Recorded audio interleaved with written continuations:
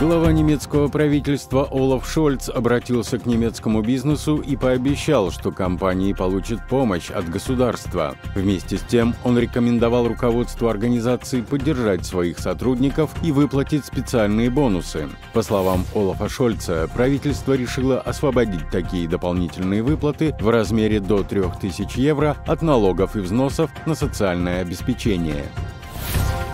Эксперты оценили, где случается больше всего автомобильных аварий в Германии и, учитывая этот фактор, изменили региональные классы для страхования авто. Теперь место жительства становится главным фактором для расчета суммы страховки авто. По подсчетам, разница может быть значительной. В регионе с высоким риском взнос за страхование машины может быть на 260 евро больше, чем в регионе с низким, даже если автомобили полностью идентичны. game.